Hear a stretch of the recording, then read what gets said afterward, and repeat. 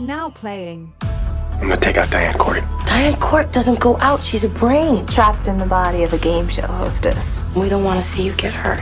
I want to get hurt. Maybe Diane Court really likes Lloyd. If you were Diane Court, would you honestly fall for Lloyd? Yeah. How are your plans for the future? Spend as much time possible with Diane. No, really. I'm totally and completely serious.